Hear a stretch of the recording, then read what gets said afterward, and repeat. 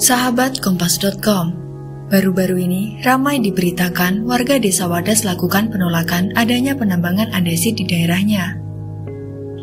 Lantas, apa sebenarnya batuan andesit itu? Batuan andesit merupakan batuan beku luar yang tersusun dari partikel halus dan memiliki warna abu-abu.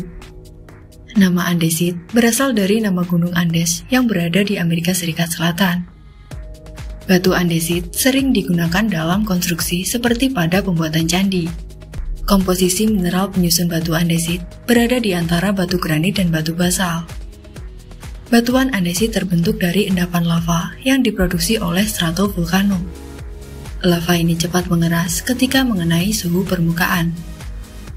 Oleh karena itu, batu andesit termasuk dalam batu ekstrusif atau batuan beku luar.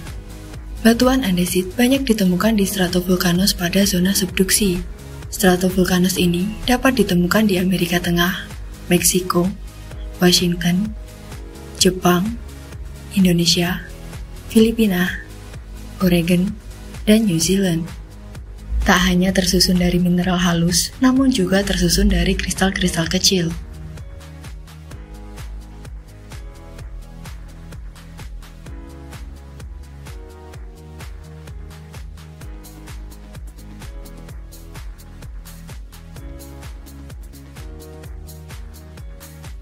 Perbedaan komposisi susunan juga mempengaruhi warna dari batuan andesit. Biasanya, batuan andesit berwarna abu-abu, namun juga terdapat variasi hingga berwarna kemerahan.